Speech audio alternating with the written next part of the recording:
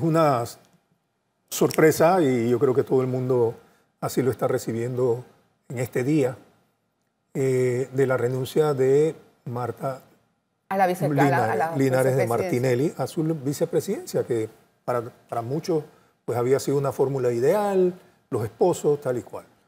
Sin embargo, eh, si uno trata de ver el, el tema, como dices tú, especulativo, estrategia, pero, estrategia pero hacia política. futuro, eh, eso dejaría, si esto ocurre ante, la Corte Suprema y la Corte falla en contra de lo que la admisión de, que le acaba de dar el Tribunal Electoral hace algunos días a Marta Linares como vicepresidenta, eh, quedaría entonces Ricardo Martinelli sin su presidente y sin poder bajo ninguna circunstancia, porque los tiempos se vencen ahora el 30 de, de octubre, de poder habilitar, Habilitar o, a alguien más. este, poner Claro, un nuevo queda- vicepresidente. En este caso queda ausente ese cargo en general, Roberto.